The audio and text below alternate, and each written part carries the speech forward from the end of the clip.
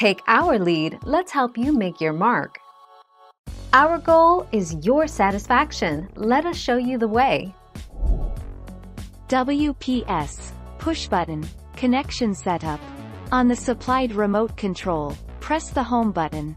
Select settings. Select network. Select network setup. Select easy or expert. Easy setup. Select Wi-Fi. Select connect by WPS button. While your TV is searching for a connection, press the WPS button on your wireless router.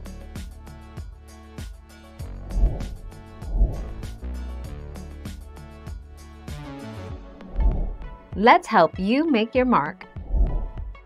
The WPS button simplifies the connection process. Press the WPS button on your router to turn on the discovery of new devices.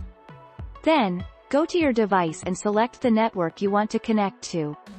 WPS automatically sends the network password, and these devices remember it for future use.